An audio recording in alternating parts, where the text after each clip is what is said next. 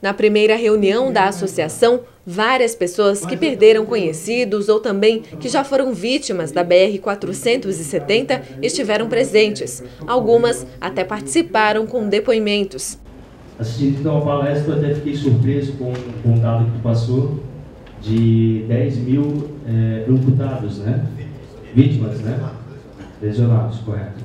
É, em 2011, em 2011, esse número era de 6.600 pessoas no Vale do Itajaí.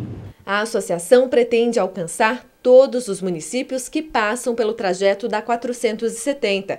Desde o início da duplicação, em janeiro desse ano, a obra já apresenta várias irregularidades. Esta obra começa errado. Essa obra começa irregular.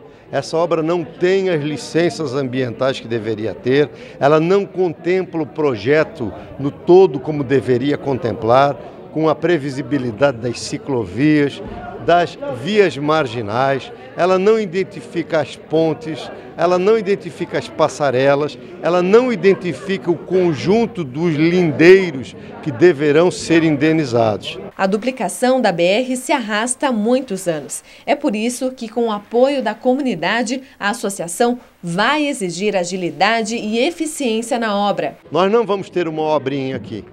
O Vale do Itajaí representa um terço do PIB de Santa Catarina. Por essa rodovia passam as nossas riquezas, por essa rodovia passam as nossas vidas, os nossos filhos. E chega de nós termos os nossos filhos mortos nessa rodovia.